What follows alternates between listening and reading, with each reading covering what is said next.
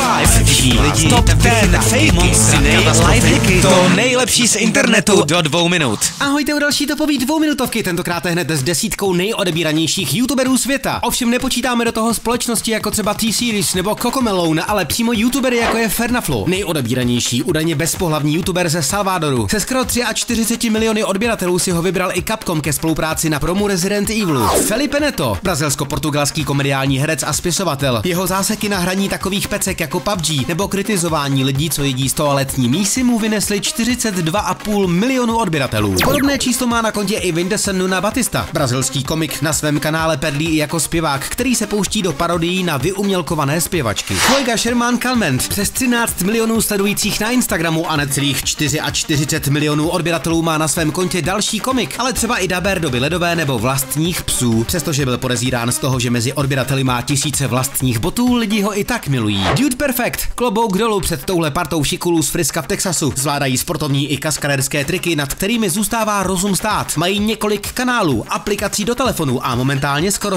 57 milionů odběratelů. Mr. Beast se pro svých skoro 64 milionů odběratelů klidně nechá zavřít v blázinci, pohřbít zaživa anebo řádí v bazénu napuštěném sladkostmi. Už od čtvrtého místa se připravte na sérii dětských hvězd z východu, jako jsou Vlad a Niky. Dnes se skoro 70 miliony odběratelů jim stačí hrát si a natáčet se u toho. Anastázia Radzinskaja, like Nastia, sedmiletá ruská superstar se narodila s diagnostikovanou dětskou mozkovou obrnou, kvůli čemuž se lékaři obávali, že by nikdy nemohla mluvit. Zhruba 75 milionů odběratelů vám potvrdí, že se tak naštěstí nestalo. Minimum dialogů, maximum převleků s dětskými písničkami, rozbalováním hraček nebo hraním her. To je Kids Diana Show s 80 miliony odběratelů. Asi jste to čekali? Jo, je tam pořád. Naprostý král s více než 110 miliony odběratelů. Nikdo jiný než Felix Arvid Ulf Hilber, a.k.a. PewDiePie. Aby jsme se vešli do dvou minut, gratulujeme a ptáme se, kdo je váš nej-youtuber. Dejte koment, like, odběr se zvonkem a pozicí Adios amigos.